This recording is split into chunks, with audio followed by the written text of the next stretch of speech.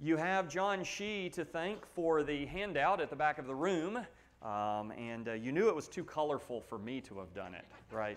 Um, he uh, assembled this using a variety of resources, and I was very impressed with it. He sent me about three versions of it as he was developing it, and uh, very impressed with um, the work that he's done here. It'd be very, very helpful to you. It actually, uh, quite providentially, in fact, touches on several matters that were already in our notes for this evening. So I'm thankful that you've got that ref- reference and resource in front of you because tonight we're going to be looking at 2 Kings chapter 15, and we are going to be um, introducing the last kings of the northern kingdom. And we're not really going to spend any time on Hosea tonight, that'll come in a couple of weeks. But as we're, we're thinking about these closing uh, days of the northern kingdom of Israel, I, I want to remind you of what we saw in a previous study, and that is that with the reign of Jeroboam II, Israel experiences an Indian summer of prosperity. Assyria is in the decline. Israel and other kingdoms in the ancient Near East are able to experience some economic and political revival. They're able to push back their borders, strengthen their military. The economy is doing well in those nations. It's a very exciting time to be a citizen in the northern kingdom. And yet, at that time, as you'll notice on this handout that's been prepared for you, they are 31 years away from collapse. They are 30 years away from destruction by the Assyrian Empire and the deportation of all their people. Now, I've been encouraging you to memorize the kings of the northern and southern kingdoms, not because it's uh, necessary for you to do so, but simply because it'll be helpful for you in studying this period if you have some acquaintance with who these individuals are. I, I want to just kind of draw out the kings. I'm just focusing on the northern kingdom tonight. We'll look at the southern kingdom next week. But the first king of the northern kingdom was Jeroboam. And then he was followed by Nadab, Baasha, and now that you've got a list, you can check me if I make any mistakes, uh, Elah, and then Zimri. And then we have perhaps the first true dynasty, the first uh, multi generational family to control the throne Omri, followed by his son Ahab, followed by his son Ahaziah, followed by his son Jehoram. At this point, God raises up Jehu to judge the family of Omri and specifically the house of Ahab. And this leads us into the second major dynasty of the northern kingdom. And this would be Jehu, who was followed by his son uh, Jehoahaz, who was followed by his son. Who was that? No, not Jeroboam. Jehoash. You remember, this is, the, this is where it, everything gets complicated. If you remember, actually, I guess I should say this is where it gets complicated for most people. But, but this is where it gets complicated because what's another spelling for Jehoash? Do you remember? Joash. And we also have a southern king named Joash. But we use Jehoash sometimes to keep these separate, even though the Bible doesn't always make that distinction. So Jehoash. Then, I heard somebody say Jeroboam. And here we have to make this distinction. This is Jeroboam the second even though he is not familially related to the original Jeroboam. We just use the second in order to kind of keep things straight in our minds. Then we have Zechariah. This is the last descendant of Jehu to sit on the throne, and we're going to talk about him tonight. Now, after that, we have a, a series of rulers whose reigns overlap and whose administrations are largely unremarkable. All right? Uh, Shallum, Menachem, Pekahiah, and then if that weren't weird enough, Pekah, and then Hoshea.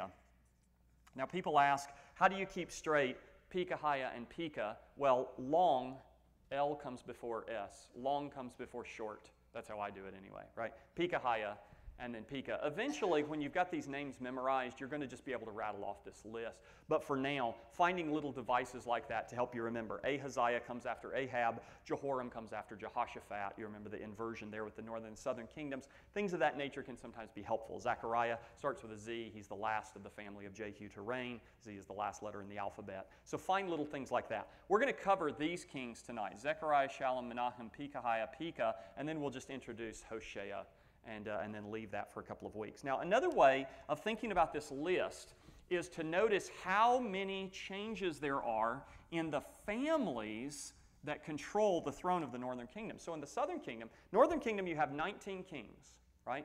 In the southern kingdom you only have 20 rulers even though they last considerably longer, right? And the northern kingdom is destroyed by the Assyrians in 722 or 721. There's always, you always have to put um, a, a one year, this kind of thing in there. 722 BC, the northern kingdom is destroyed by the Assyrians, and then 586, 585 BC, the southern kingdom is uh, finally destroyed. This, the Jerusalem is destroyed, the temple's burned, and the third wave of captives is taken by the Babylonians. So you can see the southern kingdom persists uh, almost 140 years longer than the northern kingdom, only has one ruler uh, more, right? And that is because of the stability of the southern kingdom and the monarchy there. All of the rulers except one are of the family of David, and even the one is of the family of David by marriage. You'll remember that's Athaliah that we studied uh, some, uh, some weeks ago. So, in the northern kingdom, another way to kind of follow this list is to put these together in family groupings. So, you can say Jeroboam was followed by his son Nadab. Baasha then took the throne through a violent uprising. He was followed by his son Elah. Zimri took the throne for a whopping seven days, and then was followed by Omri, who you remember uh, eventually solidifies, consolidates power in the northern kingdom. There's a period of civil war. I'm sorry? Yes, right, correct. Tibni is the other king who is during this time claiming the throne. We don't ever include him in the list, but that's good. It's really good, right? So he, during this time, for a period of a few years, Omri and Tibni are kind of competing for who's going to take power. Omri has control of Samaria. That's normally why we re- remember him there. He's followed by his son Ahab, then Ahaziah, and then Ahab's second son to reign, Jehoram. You'll remember Ahaziah dies without an heir, and so his brother takes the throne. Then the family of Jehu, right, which we already saw. Uh, I'm writing that wrong. Jehoash. Whoop. Hard for me to talk and remember how to do this. There we go. All right. Jeroboam. Zechariah. Okay, now we're back on track. And then Shallum, Menachem. Menachem's son is Pekahiah. Pekahiah. Terrible name. Don't name any of your grandchildren that. terrible. All right, Pekah. No offense to anybody who named their grandson. Okay. So what you can see here is that you've got one, two, three, four, five, six, seven, eight, nine different families to control the throne during the history of that northern kingdom, right? So that tells you something about the instability. How many violent uprisings, how many assassinations, how many military coups. It's happening over and over and over again. Finally, God's going to put an end to it. And that's kind of what we're introducing tonight. So 2 Kings chapter 15 uh, is bookended, the beginning and the end of the chapter is bookended with histories of kings of Judah. But right in the middle, you have these five or so kings of the southern king, or of the northern kingdom, excuse me, uh, that, that are really unremarkable right? I mean, we're going to mention a few things about them, but they're really unremarkable. These last six kings, including Hoshea, that we won't focus on tonight, uh, really, each of them are evil, but otherwise they're not very notable in terms of the history of God's people. And, and this makes me think of what Solomon, or the preacher in Ecclesiastes chapter 8, says uh, verse 12 Though a sinner does evil a hundred times and his days are prolonged, yet I surely know that it will be well with those who fear God, who fear before him. For it will not be well with the wicked, nor will he prolong his days, which are as a shadow, because he does not fear God. That's Ecclesiastes 8, 12, and 13. And that is really kind of a, a summary of 2 Kings 15 it's a summary of this period of the divided kingdom where you finally get down here to the end and it's just one king after another king after another king and you say what did that king accomplish nothing much right i mean he's just basically a placeholder until god finally brought judgment upon the nation so you'll notice if your bible puts headings in this chapter you'll notice that there are just tons of headings here a bunch of little short paragraphs because none of these kings individually are very remarkable and that's part of the point that we want to make tonight let's start by reading the first seven verses of 2 Kings 15. This is a king in Judah who is significant, although Kings gives him very little attention. His name is Azariah or Uzziah. Listen as I read. In the 27th year of Jeroboam, king of Israel, Azariah the son of Amaziah, king of Judah, began to reign. He was 16 years old when he began to reign, and he reigned 52 years in Jerusalem. His mother's name was Jecoliah of Jerusalem, and he did what was right in the eyes of Yahweh, according to all that his father Amaziah had done. Nevertheless, the high places were not taken away. The people still sacrificed and made offerings on the high places. And Yahweh touched the king so that he was a leper to the day of his death, and he lived in a separate house. And Jotham, the king's son, was over the household, governing the people of the land. Now, the rest of the acts of Azariah and all that he did, are they not written in the book of the Chronicles of the kings of Judah? And Azariah slept with his fathers, and they buried him with his fathers in the city of David, and Jotham his son reigned in his place. Azariah was a good king overall, a very successful king, Chronicles tells us, but very little attention is paid to him in the king's account. And this is almost certainly because of what we've noted before the difference in the theological purpose and the historical context of the writing of these two different narratives.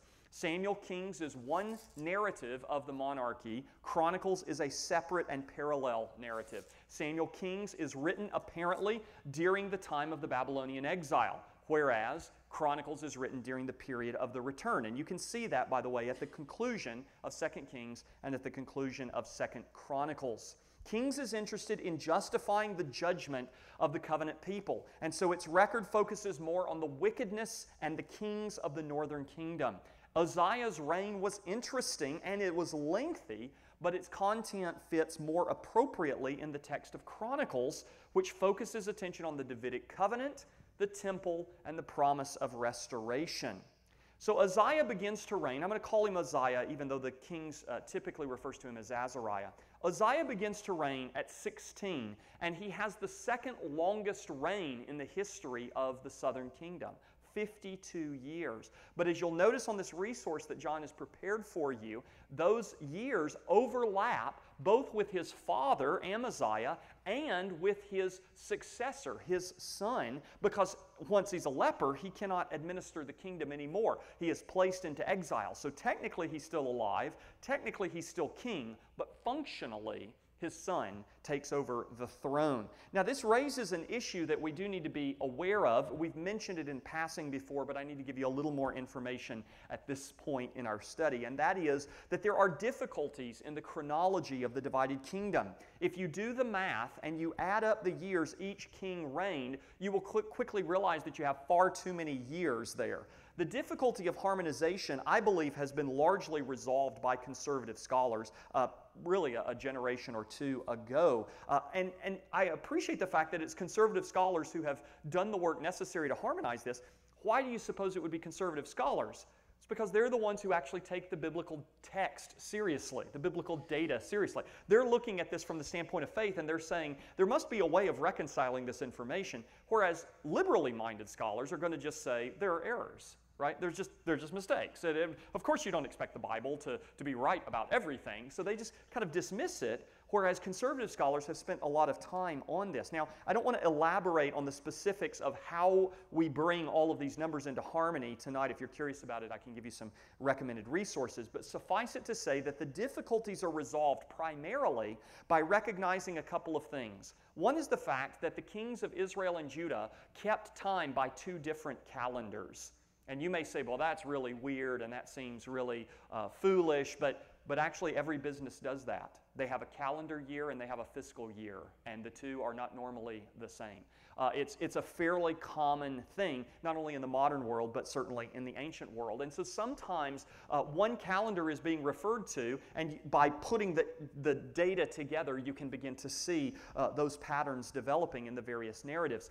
More importantly, is this issue of co regencies that we just referenced. Many of the kings have their reigns, as designated, overlapping with other rulers, either their fathers or their sons. And Uzziah is a good example of this. His reign began during the time of his father Amaziah, uh, probably uh, his father Amaziah, probably during the time that he was uh, taken captive by the northern kingdom. You remember uh, that the Jehoash comes down and he takes Amaziah captive and he sacks the city of Jerusalem. Uh, many scholars believe this is probably the time that Uzziah actually takes the throne, and it overlaps many years at the other end, since during that time, Uzziah, toward the end of his reign, was a leper. And we don't know how many years he was in exile, but he is obviously not able to function as the leader of the nation.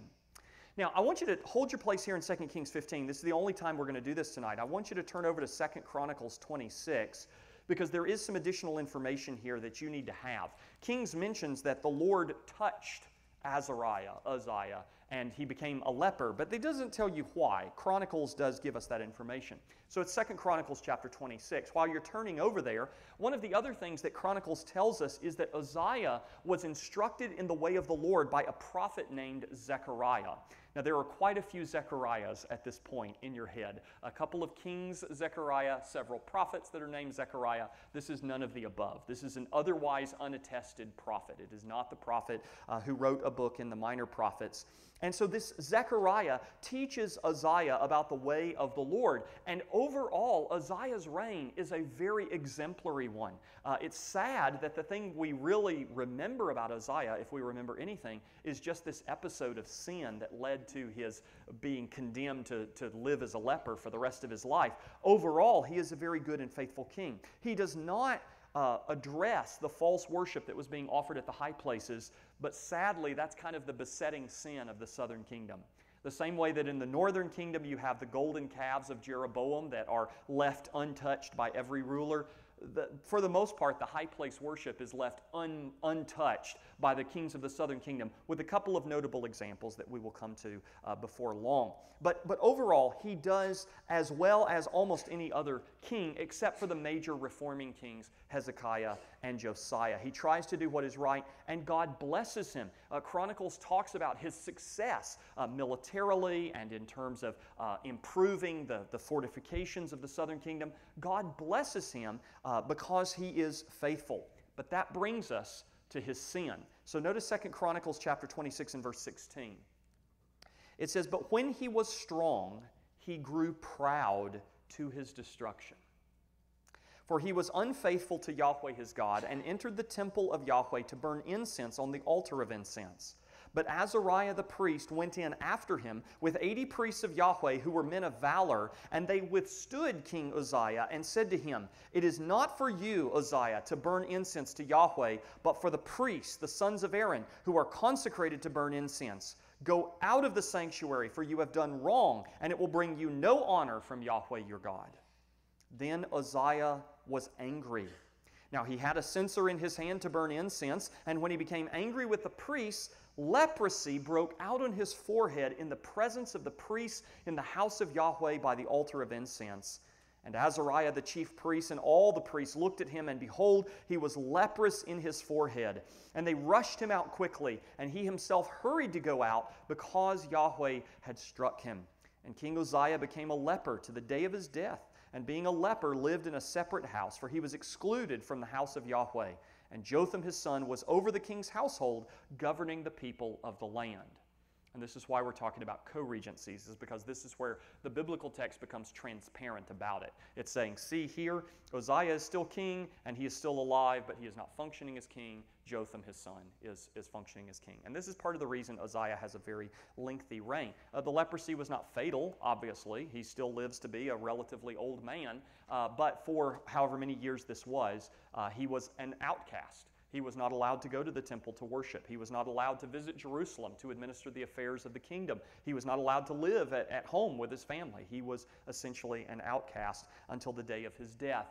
Now, why does Uzziah do this? It's because his success, the blessings that God has given him, lead to pride in his life. And isn't that a cautionary tale for us, right? Can the, can the goodness of God actually be used by the adversary to trip up our sinful hearts? Absolutely. Uh, the adversary doesn't care whether you are healthy, wealthy, and wise. He just wants you to trust in the fact that you're healthy, wealthy, and wise. He wants you to take credit for the fact that you're healthy, wealthy, and wise. Uh, he, you know, he, he, he will use disaster, as in the case of Job, or he will use prosperity, as in the case of Uzziah, to try to exploit uh, the saints of God. In the Mosaic economy, the roles of prophet, priest, and king, while closely related and cooperative, were kept nevertheless separate.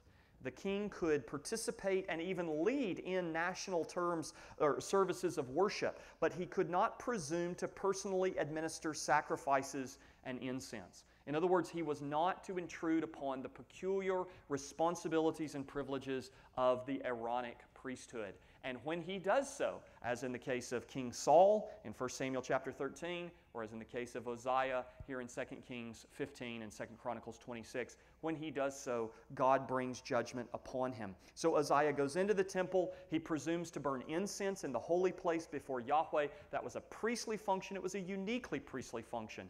And there are 80 priests, plus the chief priest, the high priest, who stand up to him, men of valor. And that would take a lot of courage to stand up to this king. But they go in and they confront him and they say, You get out of here. You have done wrong. This is sin. You are not supposed to be doing this. And, and it is when Uzziah becomes angry that the leprosy appears. And, and I, I, don't want to, I don't want to downplay the seriousness of the transgression of offering the incense in the holy place. That's obviously wrong. That's the original well, I guess the pride is the original sin, right? But that's the original instance of sin that the priests are confronting. But it seems like that God actually strikes him when he becomes angry in response to their reproof. And here's another cautionary tale, right? When we are confronted in our sin, how do we respond? Do we respond out of the anger that is the offspring of pride, or do we respond with the humility of the psalmist that says, Let the righteous strike me, it will be a kindness? I wonder, right, if Uzziah had humbled himself, if he had been convicted and contrite at that point and said, You know something, you're right, and I am sorry, I've sinned against God, would he have left the, temper, t- to the temple not as a leper, right, but still as king? I, well, I guess we'll never know. But uh, he, is, he is struck down with leprosy, and that becomes a tangible and physical sign of the spiritual uncleanness that Uzziah had committed in his presumption. Again, it's not fatal, but it is a lifelong consequence of that sin. Uh, Uzziah's heart was lifted up with pride because of his success. And we need to remember that blessing should always humble us, not make us haughty. Another point that we need to see with regard to Uzziah is that God takes authority in worship seriously. I mean, this is part of the regulative principle of worship, right? This is why we say God takes his worship seriously. He guards worship. And when he appoints that certain things are to be done in certain ways or by certain people, as in this case, then, then he means that. And even when a priest would transgress those rules, as we saw in the case of Nadab and Abihu back in Leviticus chapter 10, God brings very severe consequences. Well, let's go back now to 2 Kings chapter 15, and we're going to clip very quickly through uh, about five different kings here uh, for just a few minutes. Zechariah, Zechariah, the final descendant of Jehu to control the throne of the northern kingdom. All of these five kings will be kings of the northern kingdom of Israel. Don't let that confuse you. Verse 8 of 2 Kings 15. In the 38th year of Azariah, king of Judah, Zechariah, the son of Jeroboam, reigned over Israel in Samaria six months. And he did what was evil in the sight of Yahweh, as his fathers had done. He did not depart from the sins of Jeroboam the son of Nebat, which he made Israel to sin. Shallum, the son of Jabesh, conspired against him and struck him down at Ibleam and put him to death and reigned in his place. Now, the rest of the deeds of Zechariah, behold, they are written in the book of the Chronicles of the Kings of Israel. This was the promise of Yahweh that he gave to Jehu Your son shall sit on the throne of Israel to the fourth generation. And so it came to pass. We had to give you all the rest of that history of Zechariah, which is altogether unremarkable and unsurprising, just to be able to get to verse 12, because verse 12 is the point. God made a promise, and he kept it. And when that promise was fulfilled, Jehu's family was removed from the throne. God made a promise to Jehu that to the fourth generation your sons will sit on the throne, and they did. And as soon as they had, it, that was it, right? So it was. This is exactly why Zechariah was able to control the throne. And how long does he reign? Six months. Six months. That's all. He is the fourth descendant, just as God promised, but the end was drawing near, not only for this promise to Jehu, but for the northern kingdom as well. He continued in the sins of Jeroboam, like all of his predecessors on the throne. He was murdered by Shallum in a coup, like many of his predecessors, not in his family, obviously, but uh, as his great grandfather had done uh, to the family of Ahab. And what I want you to see is that the only thing that had spared the last four kings from the same fate was God's promise. His promise will always prove true, no matter how impossible or unlikely it should seem. And this is why I wanted to draw this out this way, is so that you can see this kingdom is in continual turmoil. Again, Ahab's family looks more impressive than it is. His son Ahaziah dies before he can even produce an heir, and then his brother comes to power for a relatively brief period of time. It's not as though this is a long dynasty. Jehu's family is the only one that holds the throne for any considerable period of time, and the only reason they hold it is because God promised that He would. That's it. The only thing that kept the family of Jehu from losing the throne to some violent coup, as Zechariah did, is the fact that God keeps His promises. His word will prove true. And do not ever doubt that. Even toward the undeserving, God shows kindness and maintains blessings because He is truthful and good even when we are not. But you do need to see that it is only the hand of God that restrained evil and catastrophe in that family. The only thing that preserved order, the only thing that kept this family from self destruction is the fact that God kept His hand upon them until He didn't. And when that restraining grace was removed, then Zechariah did not last even one year. And what I want you to remember is that this is, this is the best period of the northern kingdom economically, militarily, politically, in terms of stability, in terms of internal peace. Best period of the northern kingdom. And yet, it is not a good economy or a stable government or relative peace that is our security. These things are the gifts of God's kindness. It is never an indication that we are secure. Our security is in the Lord alone. And that's the overwhelming lesson you need to see from this last descendant of Jehu and his brief time in power.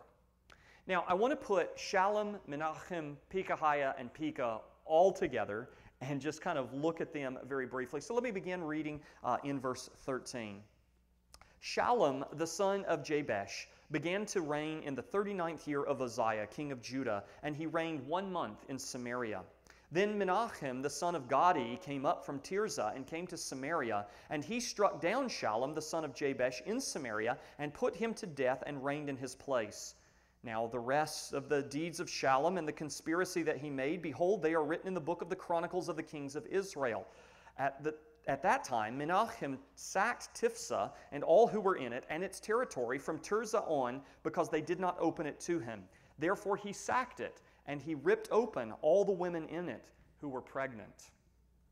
Just as an aside, this is something that's found in the prophetic literature. It is an evil, it is a war crime that is denounced by God's prophets addressing the foreign nations around Israel there should be a categorical difference between the way that God's people, in this case Israel and Judah, wage war and the way that all of their neighbors wage war. But what you're seeing is that decline, that, that the kings of Israel are indistinguishable from the heathen around them, right? Shallum holds power for one month, and then the next guy comes along and kills him. And the next guy that kills him is a, is a I mean, he's a barbarian right? He's not just a murderer, he's not just an assassin. He's, he's someone who would commit war crimes against pregnant women as a, as a means of demonstrating his power against a city that would not bow the knee, right? Menahem is a contemptible individual. Verse 17. In the 39th year of Azariah, king of Judah, Menachem, the son of Gadi, began to reign over Israel, and he reigned ten years in Samaria. And he did what was evil in the sight of Yahweh. He did not depart all his days from all the sins of Jeroboam the son of Nebat, which he made Israel to sin. Pul, the, son, the, the, king of Assyria, came against the land, and Menahem gave Pul a thousand talents of silver, that he might help him to confirm his hold on the royal power. Menachem exacted the money from Israel, that is, from all the wealthy men, fifty shekels of silver from every man, to give to the king of Assyria. So the king of Assyria turned back and did not stay there in the land. Now, the rest of the deeds of Menachem and all that he did, are they not written in the book of the Chronicles of the kings of Israel? And Menachem slept with his fathers, and Pekahiah his son reigned in his place. Other kings, both of the north and of the south, have paid off powers that came against them, like Assyria. Menachem does something more than that, though, unless I'm misreading the text. The text seems to suggest that he doesn't just give uh, Pul, the king of Assyria, a bribe in order to say, Don't destroy me. He actually gives him a bribe in order to help secure his, his control. It's as if he, he buys the blessing of the Assyrians. He's not just paying them off as other kings have done, he's buying the blessing, he's buying the approval. So not only is Menachem a war criminal, right? He's also the kind of traitor that would enter into alliances with the enemies of the people of God in order to secure his own position, right? When, well, see, I'm anticipating my application, but when God hands a nation over for judgment, what do you expect to see? Verse 23. In the fiftieth year of Azariah, king of Judah, Pekahiah, the son of Menachem, began to reign over Israel and Samaria, and he reigned two years. And he did what was evil in the sight of Yahweh. He did not turn away from the sins of Jeroboam, the son of Nebat, which he made Israel to sin. And Pekah, the son of Remaliah, his captain, conspired against him with fifty men of the people of Gilead, and struck him down in Samaria, in the citadel of the king's house with Argob and Arieh. He put him to death and reigned in his place. Now, the rest of the deeds of Pekahiah and all that he did, behold, they are written in the book of the Chronicles of the kings of Israel. It's like you get up every day and you turn on the news to find out who's president, right? I mean, it's like there's no telling. I mean, a month, six months, two years, I mean, it's, it's, there's, there's no way of predicting it. This coup involves 51 people. It's not like that's an impressive number, but it doesn't take an impressive number because there's absolutely no stability. There's absolutely no security. There's nothing to, to attach your anchor to in the northern kingdom. The northern kingdom is headed down the whirlpool, and they are almost to the bottom. It is, it is past time for the righteous to get out because this is a nation clearly under judgment. Verse 27. In the 52nd year of Azariah, king of Judah, Pekah the son of Remaliah began to reign over Israel and Samaria, and he reigned 20 years. And he did what was evil in the sight of Yahweh. He did not depart from the sins of Jeroboam the son of Nebat, which he made Israel to sin. In the days of Pekah, king of Israel, Tiglath-Pileser, king of Assyria, came and captured Ijon, Abel Beth-Maachah, Janoah, Kadesh, Hazor, Gilead, and Galilee, all the land of Naphtali, and he carried the people captive to Assyria. Then Hoshea, the son of Elah, made a conspiracy against Pekah, the son of Remaliah, and struck him down and put him to death and reigned in his place in the twentieth year of Jotham, the son of Uzziah. Now, the rest of the acts of Pekah and all that he did, behold, they are written in the book of the Chronicles of the kings of Israel. And here again is almost certainly a place where we've got overlapping reigns, uh, and yet it's difficult for us to know definitively at what point one reign begins and, and the other ends. Pekah holds power relatively speaking, for a longer period of time 20 years. That's, that's, a, that's a fairly significant reign, especially at this period. And yet, what is his reign characterized by? Continued instability, defeat. In fact, this is where the Assyrians show up for the first time and say, We're going to take people away, we're going to deport your citizens, make them captives, send them into exile. And this is only a foreshadowing of what is to come. It is because of the weakening of the northern kingdom and the administration of Pekah uh, because of the Assyrian incursion that Hoshea is able to take control, and he will be the last leader of the northern kingdom to do so. This is what a nation looks like when it has been handed over for judgment. Restraints have been removed, political instability has ensued. We see it in other ancient kingdoms. For instance, we see this in Rome. And we should, not, we should be mindful of the possibility in our own day. God had warned the people again and again by his prophets, and they refused to listen. They hardened their hearts, they stopped their ears, they gritted their teeth, and now he would allow them to self destruct by giving them their own way, by giving them over to their own will. I mean, it's, it is amazing to me, and I, I hope you know, this is, a, this is a quick survey, but I hope that the speed of it gives you a sense of how remarkable this is. You have this long period of stability and prosperity. And then Zechariah comes to the throne, and it's like the Lord flips the switch and says, Time's up.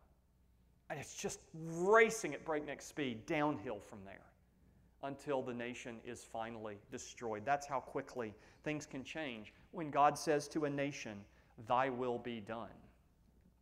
Are we heeding the word and warnings of God as individuals, in our families, in this church, in the broader visible church? When warnings go unheeded, eventually the fruit of rebellion and disobedience will ripen. And surely you have seen this. Maybe in your life, maybe in your family, maybe in other churches, where when warnings go unheeded, when problems go unaddressed, when sin is not disciplined, when leaders do not humble themselves before the Lord, there, there comes a tipping point. And after, in the aftermath, as you're lying, you know, walking amid the smoking ruins, you're able to say, in retrospect, we should have seen this coming, right? we should have seen this coming. It's been coming for a long time, but we finally hit that point where critical mass has been achieved and now there's no stopping it. You're going to see this in the southern kingdom, by the way, as well, in the reign of Manasseh. That, that's the turning point for the nation. God says to Judah, because of Manasseh's reign, there is no going back. The nation cannot be saved. Individuals can be saved. You can be saved by turning to the Lord, but the nation will not be spared. I'm going to wipe Jerusalem the way that the, a man wipes a dish. And that's the point that we're at with regard to Israel. Dale Ralph Davis, in his commentary on this passage, has this to say quote, it was that way in the last days of Israel. Clear signals of God's coming judgment, but no eyes to see them, no ears to hear them. I refer my readers again to Amos 4 6 through 12, where Yahweh sent preliminary and limited judgments on Israel to awaken her and lead her to repentance. But the signals were ignored, and so disaster would come. We have spoken of this before in relation to nations, the same holds for the church. If a church denomination equivocates and refuses to affirm biblical moral standards, for instance, regarding homosexuality, is this not a sign that God is giving over his own professing people to follow their own authority? If a church fails or refuses to discipline ministers who deny Apostles' Creed level doctrines but allows them to serve in all their unbelief, is this not a signal that God has already written Ichabod over that communion?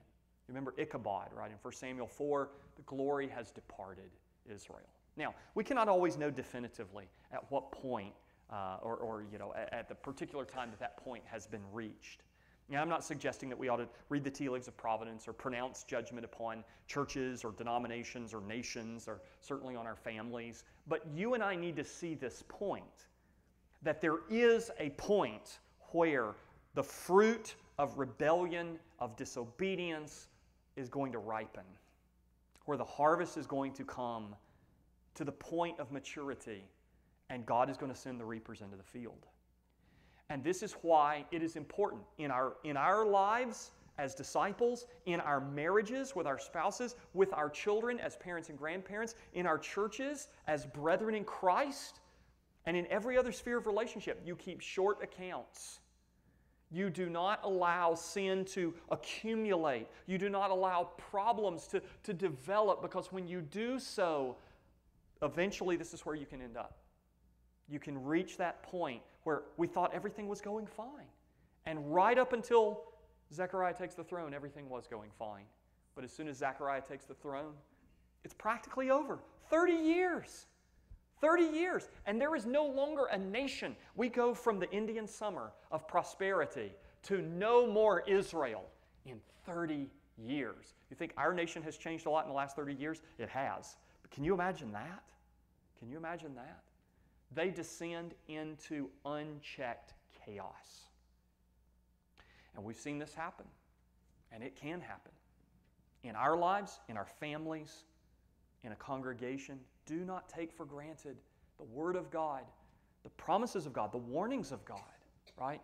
The grace of God that restrains us from the self destruction we would otherwise plunge into. The last king and the last unit in this chapter begins in verse 32, and this takes us back to the southern kingdom of Judah. So again, we have, we have a, a, king of Judah at the beginning of the chapter, a king of Judah at the end of the chapter, and then these five kings in the middle of the chapter of Israel. But we come back to Judah and we come to Jotham. Jotham, the son of Uzziah, the son who becomes king before his time, as it were, because of the sin and the sickness of his father. Notice in verse 32 In the second year of Pekah, the son of Remaliah, king of Israel, Jotham, the son of Uzziah, king of Judah, began to reign. He was 25 years old when he began to reign, and he reigned 16 years in Jerusalem. His mother's name was Jerusha, the daughter of Zadok, and he did what was right in the eyes of Yahweh, according to all that his father Uzziah had done. Nevertheless, the high places were not removed. The people still sacrificed and made offerings on the high places. He built the upper gate of the house of Yahweh. Now, the rest of the acts of Jotham and all that he did, are they not written in the book of the Chronicles of the kings of Judah? In those days, Yahweh began to send Rezin, the, the king of Syria, and Pekah, the son of Remaliah, against Judah. Jotham slept with his fathers and was buried with his fathers in the city of David his father, and Ahaz his son reigned in his place. Jotham definitely had a time of co regency, but his administration is marked by good. Like his father, with the exception of the incident in the temple, he was a good king. He reigned 16 years. He did what was right in the sight of Yahweh, even though those high places were still not addressed. Now, Chronicles tells us more about his successes, although even there the history is very brief. It's in 2 Chronicles 27 if you want to read that. I'm not going to take the time tonight. I do want to make a couple of applications or observations and applications about Jotham. Uh, first of all, I, I want you to notice that he's a good king, and yet he is a king whose administration is marked with some trouble. God sends the Syrians and the northern kingdom, the Israelites, against Judah during this time. Not every trial like that is evidence that the king is unfaithful.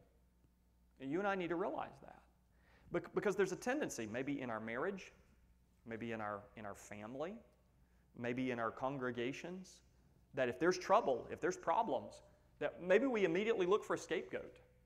Eh, we want to point the finger and say that, there, must be, there must be something wrong that you've done. Uh, wait, that, that may be the case.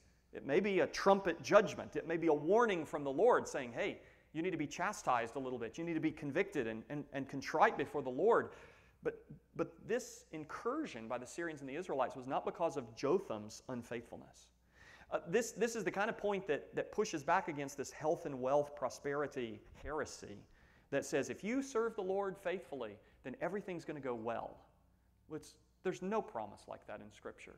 And you see in the experience of someone like Jotham, uh, quite the contrary. Sometimes God's people will still suffer and be tested and will go through fire for their sanctification, for their good, and for God's glory. But the main point that I want to, to draw your attention to tonight before we close with regard to Jotham is that if I were going to ask you, name three good kings of Judah during the period of the divided kingdom, I dare say, and I could be wrong, but I dare say I don't think anyone would list Jotham. I just don't think you would. You might put Asa on that probably would put Jehoshaphat. You almost certainly would put Hezekiah and Josiah, right? The best kings of the divided kingdom. But I don't know that anybody would remember Jotham. In fact, I don't know that anybody remembers Jotham most of the time. Uh, he's, he's one of those kings that, if you haven't memorized the kings and if you're not like regularly reviewing the kings, uh, if I haven't been reviewing the kings for a little while and I, I sketch out all the kings, Jotham's one of the ones that you can just jump right over. You say, wait, wait, that's, a, oh, Jotham, right, I forgot. Well, that's, that's sad because, I mean, as far as we know, Jotham is, is saved. He's a, he's a righteous man, he's a servant of God. Not every servant of the Lord is an Elijah or a David or a Josiah. In fact, most faithful saints will be more like Jotham, even though they will not necessarily be kings. Our lives, like his, may be largely unremarkable and not particularly memorable. We may not leave a wide or a bold mark on the world we may simply serve the purpose of God in our generation. That phrase, by the way, comes from Acts 13. That's how Paul describes David's administration. I think that's just a beautiful way of, of describing it. And yet, if, if we were talking about David, wouldn't we want to say something more significant? We served the purpose of God. Well, sure, but I mean, he was also, I mean, like he was a valiant warrior and he was a, killed ten, tens of thousands of Philistines and, and was the sweet psalmist of Israel, was a mighty king and we want to say all these big things. The most important thing to say about David is the same thing that you would say about Jotham. He served the purpose of God in his generation, and he fell asleep. And that's the best you can do. Serve the purpose of God in your generation. Jotham was not a perfect man, but the fact that he is not remembered for great accomplishments does not mean that he was unimportant. He served God, not perfectly, but sincerely. And that's the most and the best that anyone can ever do. And I wonder if we believe that. I wonder if I believe that some days. Because all of us tend to put on a pedestal people who accomplish great things. We, we, tend to, we tend to estimate people's importance in terms of the impact that they have on the greatest number of people. And so you would just look at some kings and say, well, that, that king's just more important. He got, he got more things done. You'd look at some warriors and you say he's just more important than some other warriors because he was, he was involved in greater battles and, and greater victories. You look at some pastors, you look at some fathers and mothers, you look at some individual saints in the kingdom of God. You say, well, some, some people are more important than others because, because they've really left their mark. But that's not the way that God judges or measures those kinds of things. Our salvation does not depend on great deeds in the name of Jesus Christ. It depends on the grace of Christ, which leads us simply to trust Him and cling to Him in life and in death. Our ambition in life should be like Count von Zinzendorf, even though adapted to our particular calling, he was quoted as saying that his ambition was to preach the gospel, die, and be forgotten. It's great. Calvin refused to have his grave marked. He wanted to be buried in such a way that nobody would be able to visit his grave because he didn't want that to be any, anything. He didn't want there to be a, a pilgrimage to, to see the grave of the great man. He was a great man, right?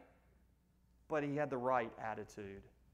May God grant each of us the grace and contentment to aspire the same. We may not remember Jotham, but God remembers Jotham. And praise God for that, because most of us are not as significant from a worldly standpoint as Jotham was. I'm not ever going to be a king of a kingdom, right? But God remembers his faithful people. Well, in closing, where is Christ? That's what we've always tried to, to close with in this study of the divided kingdom. Where is Christ in this passage? Well, we've emphasized recently that much of this history in the divided kingdom demonstrates the need for Christ and the reality that no one can be Jesus except Jesus. And the truth is, I could say that every single week in every single chapter of 1st and 2nd Kings, and it, and it would still be true, right? Would, where is Christ? He's not here yet, and that's why we need him, right? So that's, that's always part of it. But we could say, in this case, that there is a connection with Christ in the experience of Uzziah that should not be overlooked. Uzziah was a good king, but he was only a king. And that is not true of Jesus. Uzziah could not be the true and perfect prophet, priest, and king. The anointed one, right? So in the Old Testament, who is anointed to office? Kings, priests, and on occasion, not always, prophets. I don't think it's a coincidence that those are the three offices that are anointed positions in the Old Testament and how is Jesus titled? He is Messiah, Christ, the Anointed One. He is the one upon whom God's Spirit fully resides, empowering him to all three of these offices in one person. Only Jesus can occupy that role. What Uzziah attempted to do didn't work because it was not his right, it was not his privilege to enter into the holy place and act as priest in the presence of God. But Jesus can do that, and Jesus has done that because he is, in fact, our prophet, our priest, and our king. All right, observation